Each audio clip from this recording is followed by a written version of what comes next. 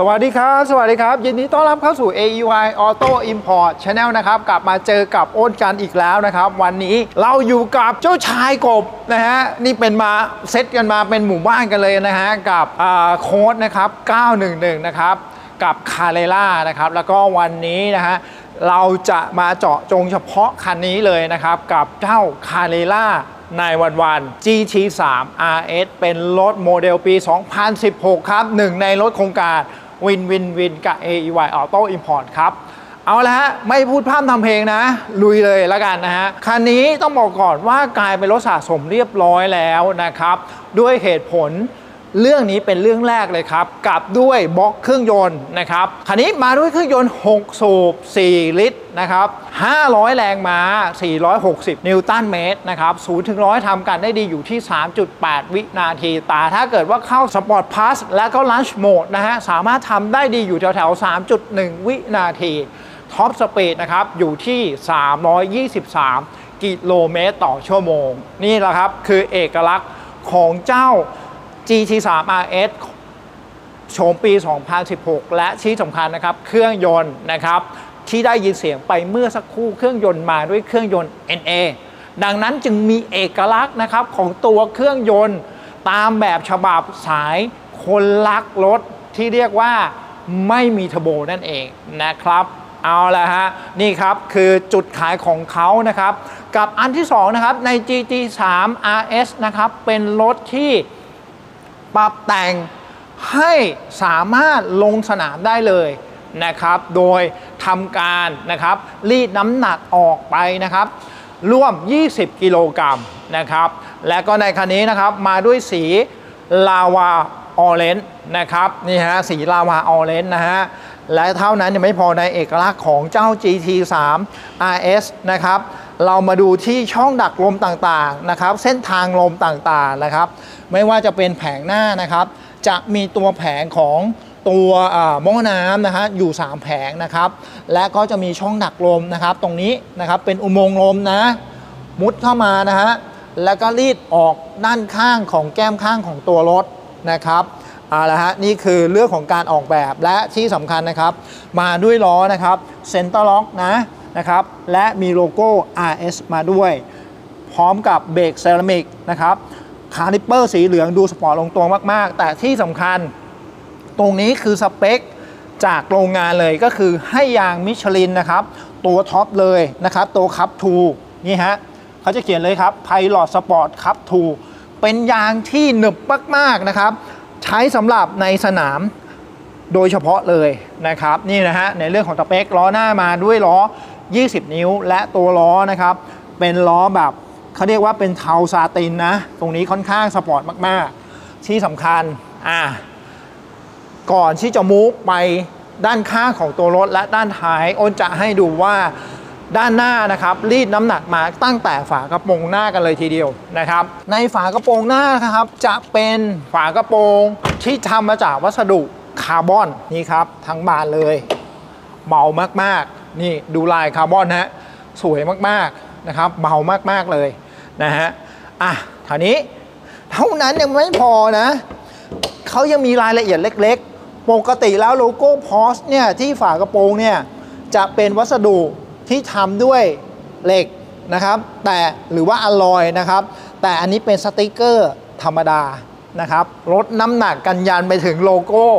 พอสกันเลยทีเดียวนะฮะ เอาละฮะ เรามาดูด้านข้างนะครับ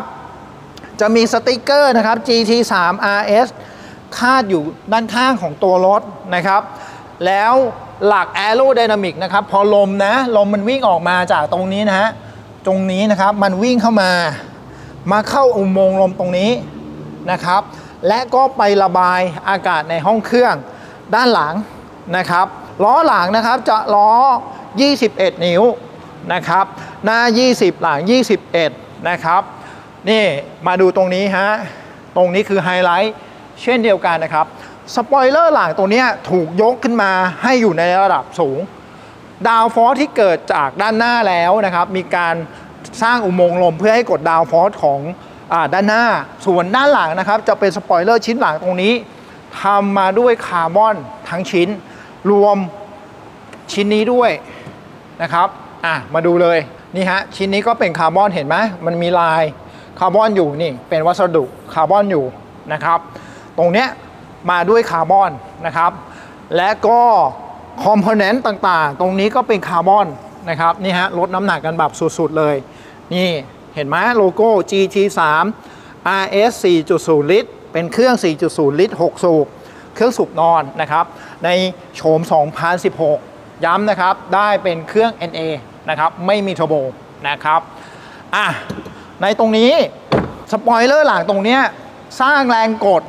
ให้กับด้านหลังเนี่ยเขาเรียกกันว่า downforce นะครับร่วม 400 กิโลกันเลยทีเดียวนะครับ ดังนั้นเนี่ยบอกได้เลยว่านี่คือนวัตกรรมการออกแบบที่ทำให้รถนะครับเหมาะสำหรับการลงสนามได้แบบเต็มเหนียวเลยนะครับอะถัดมาครับ เรามาดูด้านท้ายนะครับ เห็นไหมตรงนี้ ก็เป็นสติกเกอร์นะเขาพยายามที่จะเป็นไลท์เวททั้งหมดเลย GT3 RS นะครับปลายท่อออกคู่นะครับ แล้วก็ตอนที่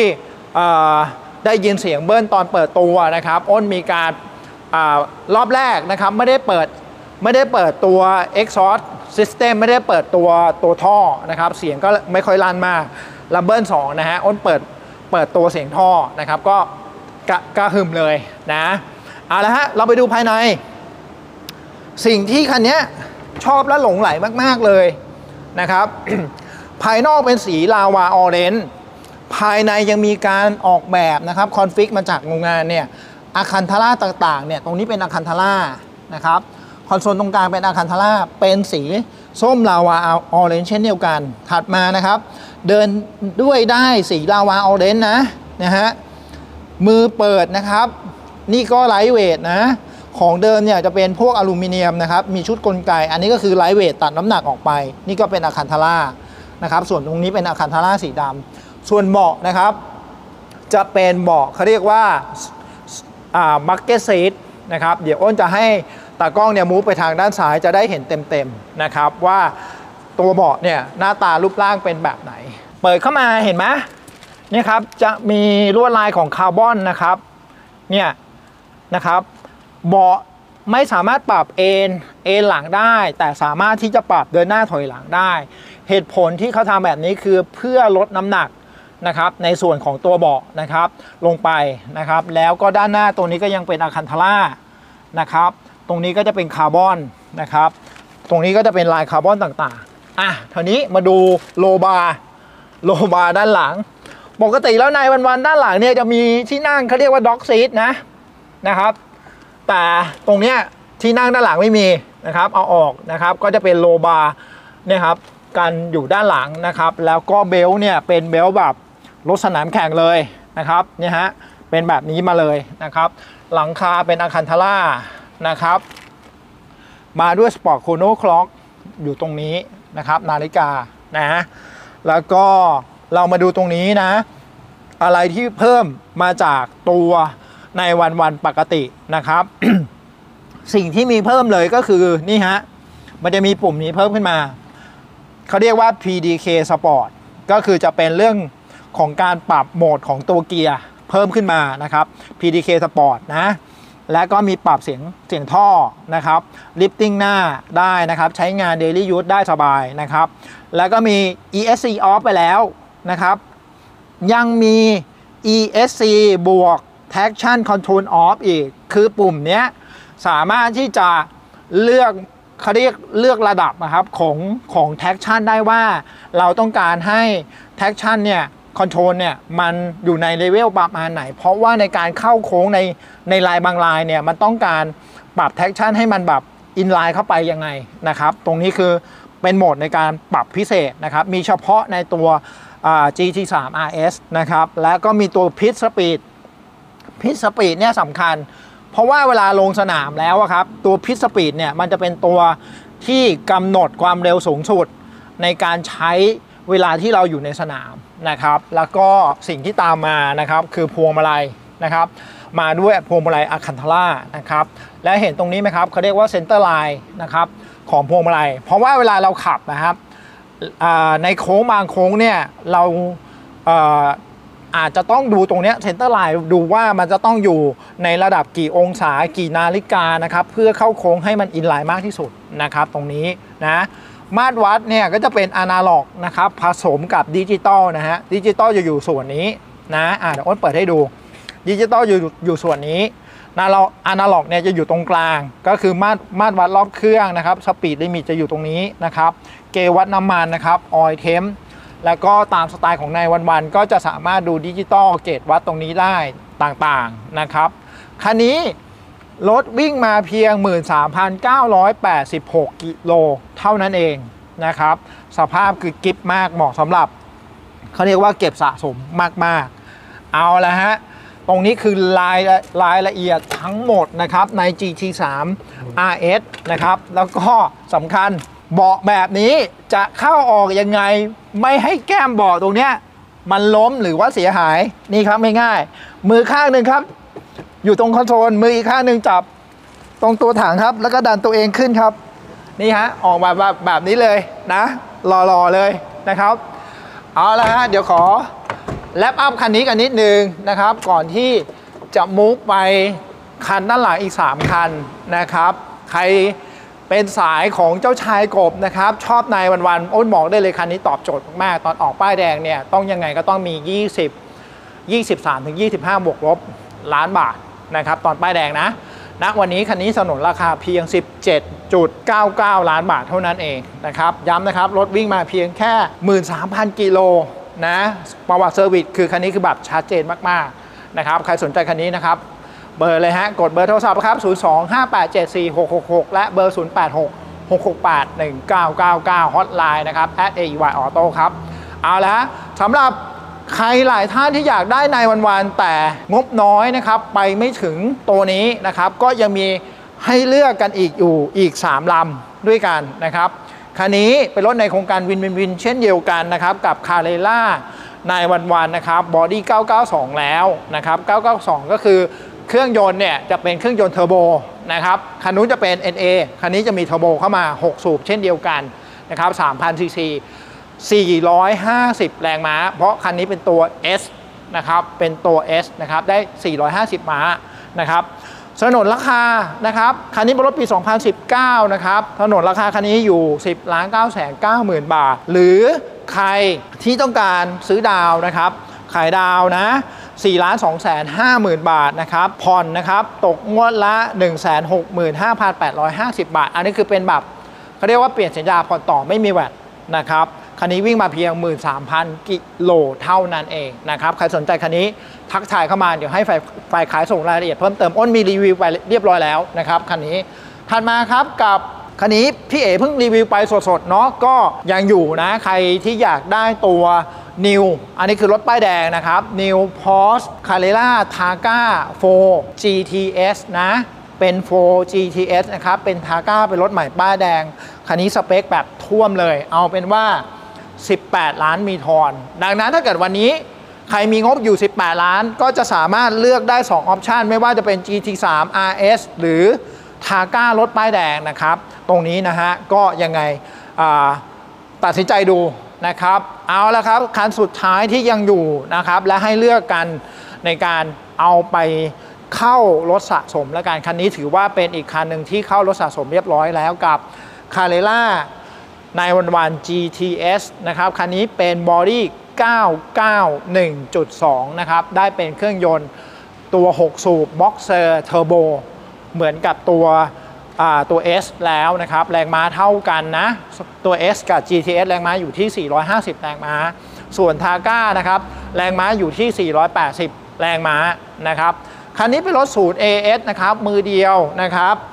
ออกสดนะ แล้วก็วารันตีของศูนย์ AS เนี่ยเขาซื้อเพิ่มนะครับ หมดยาวไปถึงนู่นนะฮะ วันที่ 18 เดือน 10 2029 รถวิ่งมา 13,000 กิโล เท่านั้นเอง คันนี้ราคาอยู่ที่ 12 ล้าน5แสน9หมื่นบาทนะครับ ใครสนใจคันนี้ก็ทักทายกันเข้ามา เอาละฮะ วันนี้จัดใหญ่จัดเต็มนะครับกับหมู่บ้านเจ้าชายกบนะครับกับคาเรล่าในวันวันนะครับมีให้เลือกกันเริ่มต้นที่ 10.59 ล้านบาทนะครับ ใครสนใจคันไหนก็ ทักทายกันเข้ามา หรือพรุ่งนี้นะครับไม่ได้ไปไหนนะ แวะมาที่โชว์รูมเรานะครับโชว์รูมเราตั้งอยู่ที่ใกล้ๆ แยกมีนบุรีนะครับรามอินทากม 14 นะครับ ตรงข้ามโรงเรียนเศรษฐบุตรบันเพนนะครับก็แวะมาชมกันได้นะครับ หลากหลายรุ่นกันเลยทีเดียวนะครับเอาละฮะช่วงท้ายเดี๋ยวขอทักทาย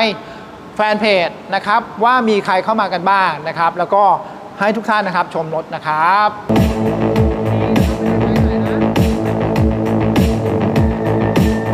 รเข้ามากันบ้างนะครับใครเข้ามากันบ้างทักทายกันนะครับผม